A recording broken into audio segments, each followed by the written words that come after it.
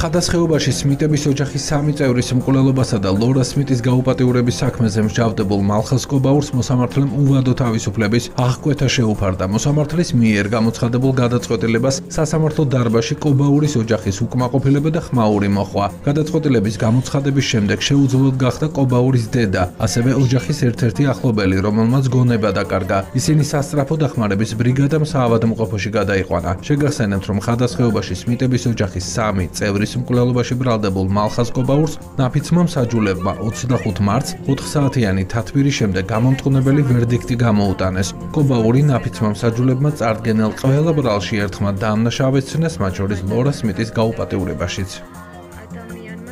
სახეზე გვაქვს საზარელი დანაშაული, მოკლულია ოჯახის სამი წევრი, მათ შორის 4 მცირეწლოვანი ბავშვი. მოტივი დანაშაულის არის ყოვლად შეუწყნარებელი და გაუგონარი ადამიანის და ქალის გაუპატიურების გულისთვის, ასეთი საზარელი დანაშაული არის ყოვლად შეუწყნარებელი და გარდა აღნიშნულისა ხაზი გაესვა იმ გარემოებას, რომ ბრალდებულმა დანაშაულის ჩადენის შემდგომ არათუ არ აღიარა და არ მოინანია დანაშაული, იგი სასამართლოს ბოლო წუთამდე და ბოლო ეტაპამდე ცდილობდა სასამართლოს შეცდომაში შეყვანას, ნაფიცი მსაჯულების შეცდომაში შეყვანას და მისი ერთადერთი მიზანი მოცემულ შემთხვევაში წარმოადგენდა პასუხისმგებლობისგან და სასჯელისგან თავის დაღწევა.